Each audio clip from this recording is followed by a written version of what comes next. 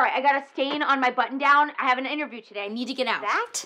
That thing shows like no titty. Do you want the job or do you want to waste your time? I need to get the fucking stain out. Wow, not gonna get it out like that! Dude, I'm sorry. It, it just cost me 58 bucks. What was the thing that your grandmother used to do? The, the secret trick? Tomato juice. Juice of tomato. Tomato juice, are you sure? Yep. All right, let me see. Hold on. God, I love weed. Okay. All right, I don't have tomato juice, but I have Bloody Mary mix. Ooh, that's even better. The horseradish will exfoliate the stain. Awesome. Okay, here we go. Okay, so do I do I rub it in? Yes. Rub it in. Smart. Good. It's like Is it working? I don't know if it's making it look better. Wait, you did. You applied.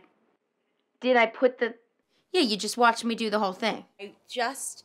Remember that that was the wrong trick. Tomato juice is for skunk sprays. Are you ki- uh, You know what I realized? Her trick was? A couple drops of detergent on the stain and then you let it sit and then you wash it normally. Do you have time for that? Her trick was pre-treating a stain? We all know how to pre-treat a stain, Grandma. Hey! Turn that pout inside out, sister. Because you know what? Now you have no choice but to. Show your freaking titties. And that's how you're gonna get a damn job in this city, fucking town.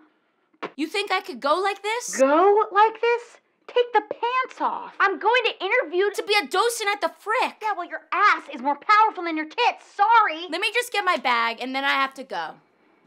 Oh, yeah, there it is. Mm. Get that job, bitch.